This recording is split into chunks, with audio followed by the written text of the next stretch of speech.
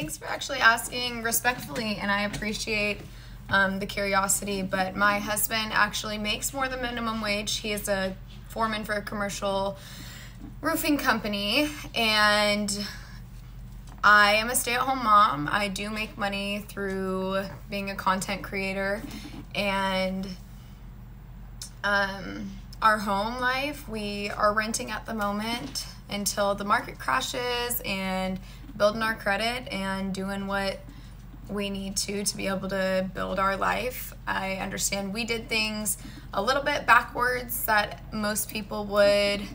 Um, we wouldn't have started a family if we couldn't afford it. We definitely planned accordingly. But thanks for asking, and I hope that helps.